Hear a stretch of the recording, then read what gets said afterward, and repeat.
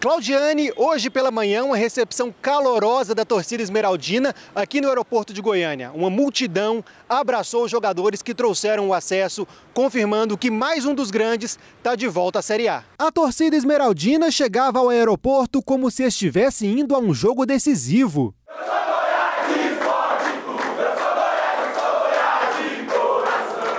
A temporada foi de altos e baixos e merecia uma comemoração do tamanho desse alívio de voltar à Série A.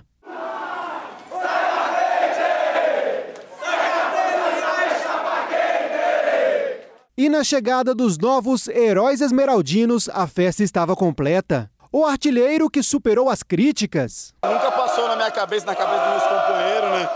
E agora é só comemorar domingo, né? A gente sabia que ia fazer um grande resultado lá muito feliz por esse resultado, agora é só comemorar. O paredão alviverde. Foi árduo, mas o importante é que a gente conseguiu voltar ao Goiás. O gol do acesso. Essa torcida toda merece esse acesso, é, juntamente como o nosso elenco merece, os nossos profissionais.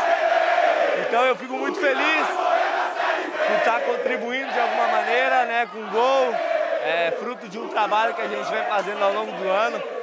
E eu tô feliz demais com esse acesso, com esse gol nesse jogo. E o camisa 10? Graças a Deus, é, mereci demais.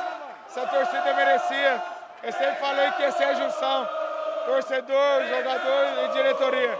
Parabéns, Goiás, voltou. Bora.